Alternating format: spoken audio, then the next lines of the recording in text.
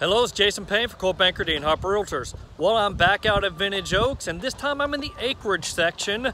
And uh, this can be the first of many follow-up videos for a large house being built by Perry Home. Let's go check out the progress so far.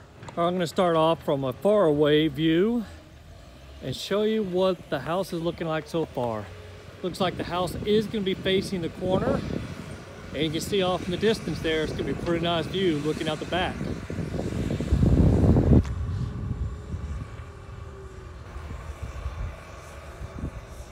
There's the other house on the other side of the street.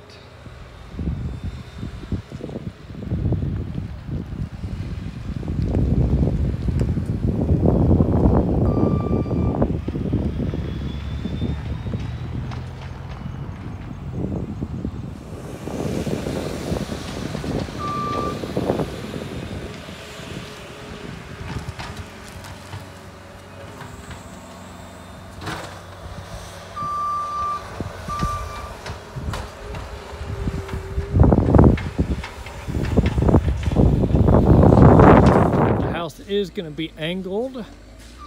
I'm looking at uh, down around the back side of the house here, and you can start to see a view.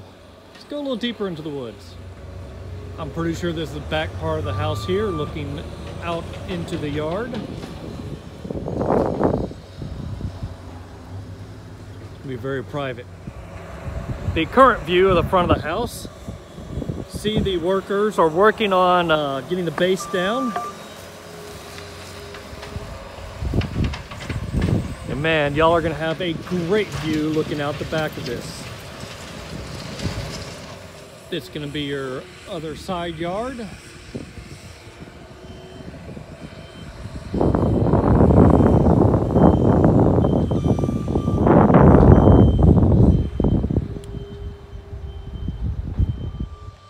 I hope this first follow-up video of new construction in Vintage Oaks for my clients building their dream home has been a little bit helpful.